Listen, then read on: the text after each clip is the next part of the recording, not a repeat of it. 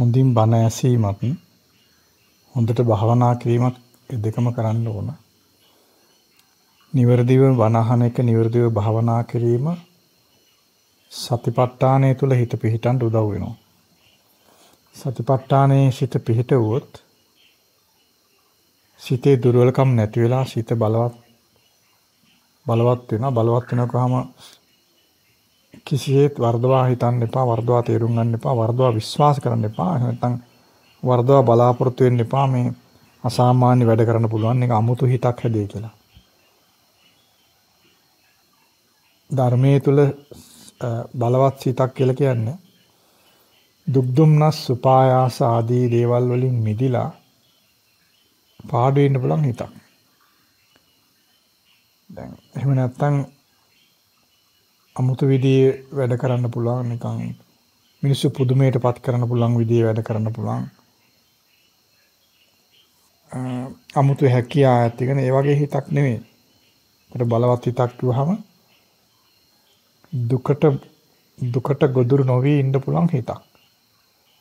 එච්චරයි. ඊට වඩා මුකුත් බලාපොරොත්තු වෙන්නත් එපා. දුක් පීඩා රහිතව ඉන්න ඉන්න විතරක් බලාපොරොත්තු වෙන්න වෙන සෑම බලාපොරොත්තුවක්ම දුකින් නිදහස් වෙන්න උදව් වෙන්නේ නැහැ. ඒ නිසා බලවත් සිතක් වහම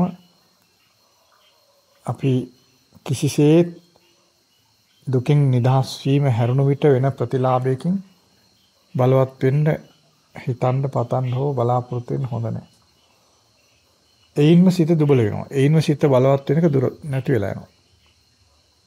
ඒ නිසා අපි හොඳටම තේරුම් ගන්න ඕන පිළිගන්න ඕන බුදුරජාණන් වහන්සේගේ ධර්මයේ තියෙන දුකින් නිදහස් වීම සඳහා විතරයි.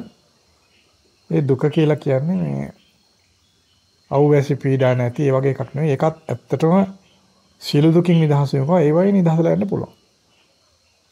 අපි දැන් මෙලව ජීවත් වෙන තාක් කියන්නේ මේ අපට දැන් ලැබිච්ච ශරීරයක් තියෙනවනේ. මෙලව ඉපදීමෙන් ලැබිච්ච ඇහැ කන නාසය දිව ශරීරය ආදී ශරීරයක් තුළ ශරීරයේ තියෙන තාක් යම් දුක් පීඩාවලට ගොදුරු වෙන්න වෙනවා. ඒක රහතන් වහන්සේටත් බුදුරජාන් වහන්සේටත් තිබුණා. බඩගින්න දැනෙනවා. එතකොට අවුව දැනෙනවා. උණුසුම දැනෙනවා. සීතල මැසි මඳුරු උදුරු වල ඒ කරදර පීඩා. කෙනෙක් ගැහුවොත් බැන්නොත් කැපුවොත් කෙටුවොත් වැටුනොත් කැඩුනොත් බිඳුනොත් ඒවා දැනෙනවා. ඒවායි පීඩා තියෙනවා. ඒවා ඉතින් පීඩා නෙවෙයි ඒ දුක් තියෙනවා. කය තියෙනකන් තියෙන කය තියෙනකන් යම් දුක් තියෙනවා. අරහතරපත් වුණත් ඒ වගේ තමයි. ඉතින් මේ සීලම දුක් වලින් නිදහස් වෙන්නේ පිරිනිවන් පෑමෙන්. නමුත් මේ කෙලෙස් සහිත සිත කියන එක ඊටාම දුක් සහිත ස්වභාවයන් නැති කරනවා. ඊටාම සුළු සිද්ධිය මහා කන්දක් වගේ දුක් බවට පත් කරනවා මේ කෙලස් වල හැටි ඒකයි. ඒවා හරීම අමානුෂික ස්වභාවයක් තියෙනවා. කෙලස් වල. ඒ නිසා ඒවා ගැන කැමැත්තක් ඇති වෙන්න දෙන්න එපා. දැන් මේ ලෝකේ ඉන්න පතන අයට කෙලස් වටිනවා. ඒගොල්ලන් කෙලස් වලට ආසයි. යුද්ධ බටේ කියන්නේ එයාට තරහ පටිගිය වුමනා කරනවා. හොරෙක් කියන්නේ එයාට කපටිකම් සට කපටකම් මායාව එයාට ඕන. ඊළඟට මංකොල්ලකාරයෙක් කුමන්ත්‍රණකාරයෙක්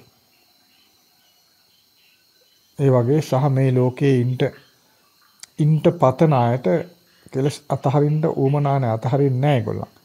කෙලස් අතහැරලා කෙලස් අයින් කළා ලෝකේ රැඳෙන්න බෑනේ. මේ ලෝකේ කොහේ හරි ඉන්න පතනවා නම් කෙලස් අතහරින්නේ අතහැරෙන්නේ නැහැ. කෙලස් අතහැරීමක් සිද්ධ වෙන්නේ නැහැ ඉන්න පතන අය. ඒතල යම් යම් කෙලස් වල යටපත් වීම තියෙන්න පුළුවන්. නමුත් කෙලස් වලින් නිදහස් වෙන්න කැමති කෙනා ලෝකේ ඉන්න හිතන්න ලෝකේ කොහේවත් ඉන්න නොසිතා ඉන්න කෙනා එයාට තමයි කෙලස් ප්‍රහාණය වෙන්නේ. කෙලස් දුරු වෙන්නේ. ඒ නිසා ධර්මයෙන් ලබන බලය නැත්තම් බලවත් භාවය ගැන තේරුම් ගැනීමේදී දුකින් නිදහස් වීම හැර වෙන කිසි ආකාරයක මේ ප්‍රතිලාභයක් ගැන හිතන්න බලන්න බලාපොරොත්තු වෙන්න එපා. ඒකයි මේ දොස් සහිත දේවල් අහන්න හොඳ නෑ කියන්නේ. දොස් සහිත දේවල් වල තියෙනවා විවිධ විදිහේ දේවල්. දෙවියෝ කතා කරා කියයි, විශ්ව බලය කියයි, විශ්ව ශක්තිය කියයි. ඒ වගේ මිනිසුන් මුලා කරන නිකන් මිනිසුන් මේ බැඳලා තියෙන ඒ ඒ වගේ දෙයකට බන්ධනය වුණොත් එහෙම අයින් කරන්න බෑ. දෘෂ්ටි මායාවන් වගේ දේවල් මේ පහසුවෙන් බිඳින්න බැරි දේවල්. ඒකයි දොස් සහිත දේවල් අහන්න හොඳ නෑ කියලා කියන්නේ. දොස් සහිත දෙයක් ඇහුවනම් ඇහුණු පමාවෙන් බැඳෙනවා මොකද හේතුව ඇතුලේ කෙලස් තියෙන නිසා. එතකොට අපි දුකෙන් නිදහස් වෙන්න ඕන කියන අදහස තියෙන කෙනාට ධර්මයේ ඉක්මනින් හිතේ පිහිටනවා. දොස් සහිත දේවල් අහුවාම හිතාගන්න බැරි විදිහට නොමකට යනවා හිත. දුක සැප වගේ තේරෙනවා. දුක සැප වගේ තේරෙනවා. ඊටාම දොස් සහිත දේවල් ප්‍රාර්ථනා කරන්න පටන් ගන්නවා. ඒකට හේතුව සිත අභ්‍යන්තරේ සංගවිච්ච කෙලෙස් ඒවා ක්‍රියාත්මක වෙනවා. ඉතින් බුදුරජාණන් වහන්සේ දේශනා කරනවා මේ දැන් යම් අකුසල් තියෙනවා නම් ඒ සියලු අකුසල් වල පැවැත්ම නැත්නම් ඒවා පවතින්නේ ඒවා වැඩෙන්නේ අවිද්‍යාව මුල් කරගෙන කියලා. ඉතින් දොස් සහිත දේවල් ඇහුවාම අවිද්‍යාව පෝෂණය වෙනවා. බන විදිහට නම් දොස් සහිත දේ ඇහුවොත් අවිද්‍යාව පෝෂණය වෙනවා. ඒ නිසා බන ඇහුවත් ඊටාම නිවැරදි දේවල් අහන්න ඕන. ඒතර අවිද්‍යාව පෝෂණය වෙන්නේ නැහැ. ඒකයි මම මුලින් කිව්වේ බන ඇසීමත් භාවනා කිරීමත් දෙක හරියට කරන්න ඕන. ඒතර බන ඇසීමත් භාවනා කිරීමත් දෙක හරියට කළොත් එහෙම එයින් වෙන්නේ සතිපට්ඨානයේ සිත පිහිටන එක. බන ඇසීමෙන්ම සිද්ධ වෙන්න පටන් ගන්නවා. බන ඇසීමෙන් සතිපට්ඨානයේ හිත පිහිටනකොට අපහසුයක් නැතුව භාවනාවේ හිත පිහිටනවා. ඒතර භාවනා කිරීම අමාරු වෙන්නේ නැහැ. භාවනාව කියන එක කැළඹීම නැති තැන තැම්පත් වෙන ස්වභාවයක් තියෙනවා. සුළඟකින් යමක් කැළඹෙනවා. සුළඟ අයිමනම් පස්සේ කැළඹෙච්ච එක තැම්පත් වෙනවනේ.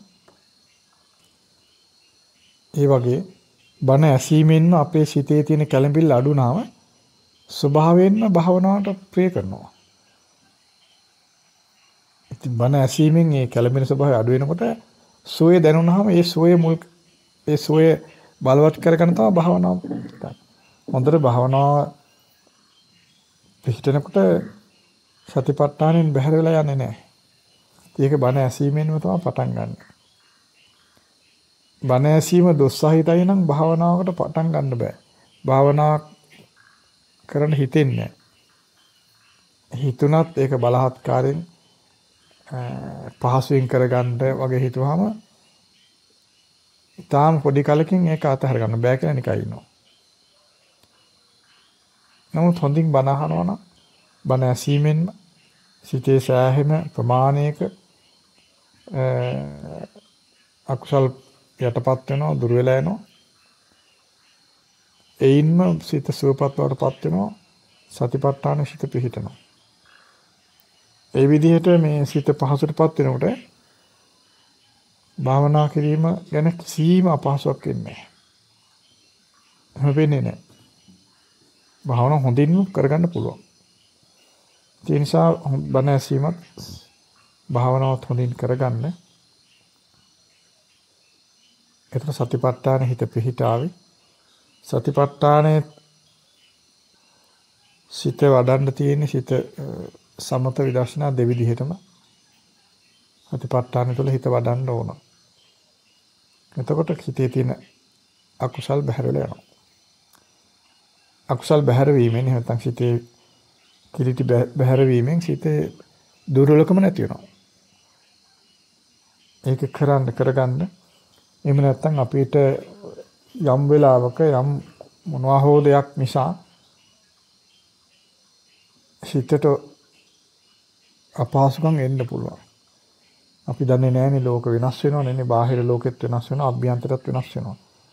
මේ වෙනස් වීම තුල දුක් ඇති වෙනවා කියලා තියෙනවනේ වෙනස් වෙනකොට. නේ? එහෙම කියනවනේ දේශනාව. ලෝකේ එක විදිහට තියෙන්නේ නේද? ඇහත් වෙනස් වෙනවා, ඇහැට පෙනෙන රූපත් වෙනස් වෙනවා. ඒ වගේ මේ ලෝකේ විтин විට වෙනස් වීම අපට හිතා ගන්න බැරි වෙනස් වෙනවා.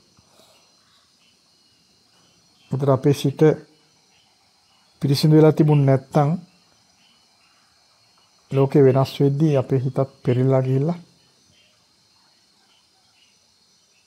බලවත් විදිහට දුකටපත් වෙනවා. ඒකෙන් බේරෙන්න තියෙන දේ කල්ැතුවම හොඳට සිත සතිපට්ඨානය තුල වඩලා තියාග තියෙන්න ඕන. එතකොට හොඳින් කරගන්න කෙනා සම්පූර්ණ නිදහසට යන්නත් ඉඩ තියෙනවා. කෙසේ වෙතත් අපි සතිපට්ඨානේ පුරුදු කරගෙන හිටියොත් යම් කලක නිදහස් වෙලා යනවා. කාලය අපිට කියන්න බෑ. නමුත් ප්‍රමාදලා තිබුණොත් එහෙම ලෝකෙ වෙනස් වෙද්දී ඒ ඇති වෙන දේවලුත් එක්ක දරන්න බැරි වෙනවා. දරන්න බැරුණාම ඒ දුක් බලවත් වෙනවනේ. දෙගුණ තෙගුණ සිව්ගුණ වෙලා යනවා. මොනවා කරනවද කියලා තේරෙන්නේ නැහැ ඒක. නිසා බණ ඇසීම, භාවනා කිරීම ඒවා හොඳට කරන්න. වරද්ද ගන්න එපා, පරක්කු කරගන්න එපා, කම්මැලි වෙන්න එපා.